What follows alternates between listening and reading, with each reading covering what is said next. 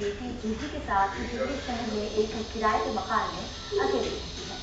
अकेले रहना उसका शौक नहीं है तीन साल पहले उसका अपने पति से तलाक हो गया और धीरे धीरे ज़िंदगी की शाख से किसी पतझड़ की तरह खुशी के तमाम लम्हे गिरते गए और उसके पास रह गई सिर्फ़ उदासी और तन्हाई अब उसका सिर्फ़ एक सपना, एक हकीकत और एक ही आरज़ू है, जूही की परवरिश कैसे यानी वो सिंगल पैरेंट है।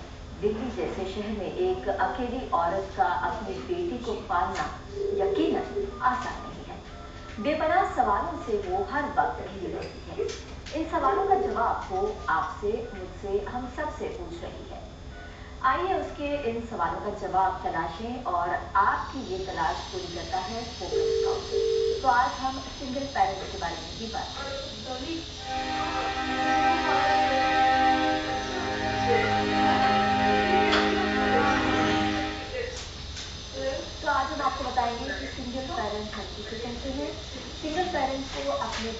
परवरिश के दौरान किस तरह की परेशानियों का सामना करना पड़ता है? इसी तरह के और भी कई सवालों के जवाब हम अपने आज के कार्यक्रम में देंगे। अगर आप भी हमसे सिंगल पेरेंट से संबंधित कुछ जानना चाहते हैं तो हमें इस नंबर पर फ़ोन कर सकते हैं। सिंगल पेरेंट से संबंधित सभी सवालों के जवाब देंगे हमारे आज के मेहमान family counsellor doctor doctor Neelam आपका बहुत बहुत स्वागत है सिंगल पेरेंट हम किसे कहते हैं सिंगल पेरेंट्स मीन्स लोन और सोल पेरेंट और सिंगल पेरेंटिंग का जो सही डेफिनेशन है जिसे हम लोग कहते हैं कि विदाउट एनी स्पाउस की हेल्प या अपने पार्टनर की अभी मैं थोड़ी देर में निकल जाऊँगा। इसलिए रात को बहुत लेट हो गया तो शहनवाज का पार्टी था कुछ रीजन ऐसे होते हैं जैसे डिवोर्स हो जाता है। वही रात को एक डेढ़ कभी बजे होता है कि अभी मैं जस्ट आ ही रहा की डेथ हो पार्किंग की बहुत प्रॉब्लम हो कभी ये होता है कि आप एक दूसरे को छोड़ देते हैं।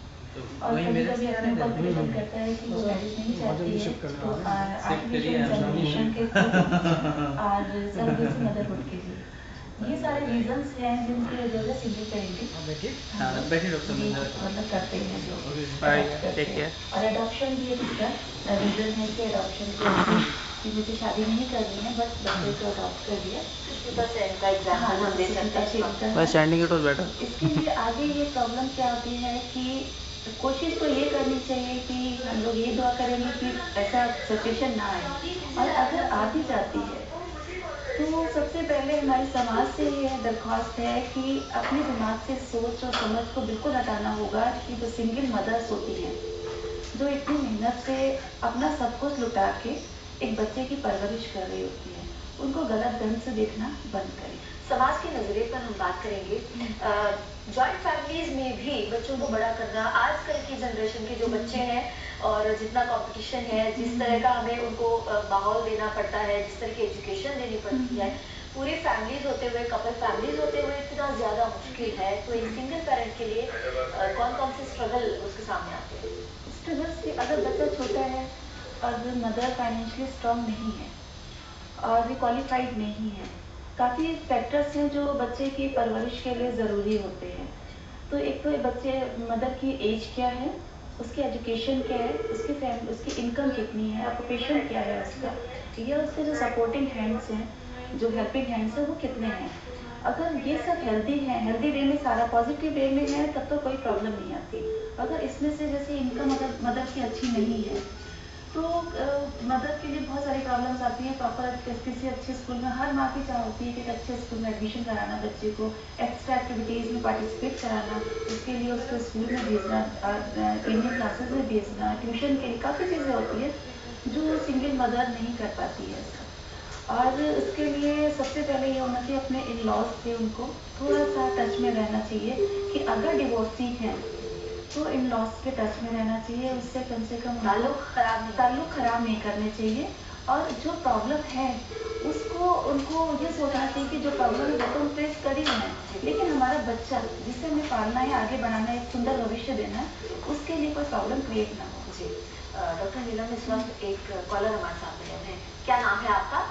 नीता बोल रही हूँ। मेरी दोस्त है उसका डिवोर्स अभी कुछ टाइम पहले हुआ है। और उसका आठ साल का बच्चा है। पहले तो उसको रियलाइज़ नहीं होता था बच्चे को कि पापा पापा करके वो कुछ ऐसे ही मिस नहीं करता था। अब वो चीज़ रियलाइज़ करने लगा है और वो पापा, सबके पापा स्कूल आते हैं, सबके पापा ये करते हैं, सबके पापा वो करते हैं। तो इस तरह से फील करने लगा है। तो मैं अपनी फ्रेंड वरीड हूँ कि उसको क्या एडवाइस दूँ कि उसको शादी कर लेनी चाहिए दोबारा? या क्या करना चाहिए? बात है पहले आपने बच्चे को अपनी फ्रेंड से पूछे कि बच्चे को किस तरह से पाला है। अगर उसने कुछ भी अपने हस्बैंड के लिए नहीं बताया है तो जैसे जैसे बच्चे की उम्र बढ़ रही है तो उसके अकॉर्डिंग टू एज उसको धीरे धीरे सब कुछ बताना चाहिए, लेकिन नेगेटिव वे में नहीं। पॉजिटिव वे में बताना चाहिए और कोई भी स्टोरी सुना के उसको मिसगाइड नहीं करना चाहिए कि तुम्हारे पापा इधर गए हैं या उधर गए हैं। कभी कभी बच्चों को मिसगाइड कर देते हैं कि पापा आ जाएँगे। तो आप बच्चे की मेच्योरिटी बच्चे की छोट साइकोलॉजी उस पर थोड़ा सा ध्यान दीजिए, बच्चा क्या चाह रहा है। आप अपनी फ्रेंड को ये कहिए कि बातों बातों में बच्चों से, बच्चे से अपने ये पूछने की कोशिश करें कि आखिर बच्चा क्या, दूसरा पापा चाहता है वो? और अगर वो बच्चा अगर किसी दूसरे फादर की बात कर दूसरे जैसे वो मैरिज के लिए बात कर रही हैं आप सलाह दे रही हैं उसको और बच्चा उसमें अगर इरिटेट होता है या उसको गुस्सा आता है अगर वो चीज़ें उठा उठा के पिटने लगता है तो उससे आप उसकी फ्रेंड को आपको समझना चाहिए कि मत- वो दूसरा फादर नहीं चाहता है और उसको ये धीरे धीरे पॉजिटिव वे में उसके हेल्दी एटमोसफेयर रखें और अपनी फ्रेंड को सबसे बड़ी है कि आप मोटिवेट करते रहिए कि सिंगल मदर करना बहुत ही अच्छा है ये तो ये कहूँगी हिम्मत वाला काम कर रही हैं वो, और इसी तरह से हिम्मत से करते रहिए, लेकिन अपने बच्चे का माइंड धीरे धीरे लेने की कोशिश करें। अगर बच्चा एग्री करता है इस बात को तो डेफिनेटली वो दूसरी शादी के लिए जा सकती है। वैसे विदाउट बच्चे की परमिशन के लिए उसके चाइल्ड साइकोलॉजी पे बहुत असर पड़ेगा, जो अभी नहीं, लेकिन आगे भविष्य में थोड़ा सा प्रॉब्लम कर सकता है।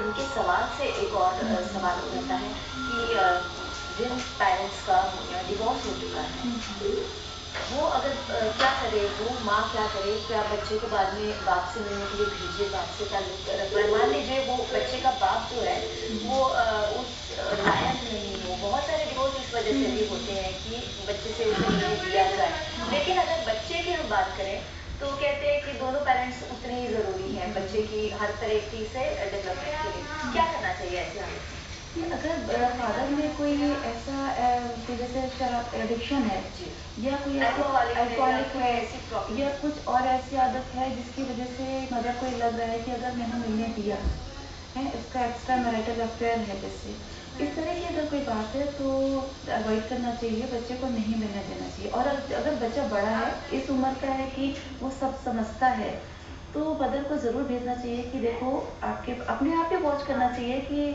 आपके फादर क्या कर रहे हैं किस रीज़न की वजह से मैं हम लोग सेपरेट हुए हैं। मतलब ये बात बच्चे को धीरे धीरे धीरे बताना चाहिए बट एज के हिसाब से। ये नहीं कि बच्चा छोटा है आपने बहुत बड़ी बड़ी बातें उसके माइंड में डाल दी और छोटा बच्चा अकेले जगह बैठ के वो उन बड़ी बड़ी बातों को क्या सॉल्व करने की कोशिश कर, कर रहा है। सिंगल पेरेंट के सामने और क्या क्या चैलेंजेस आते हैं इस पर बात करेंगे आपसे।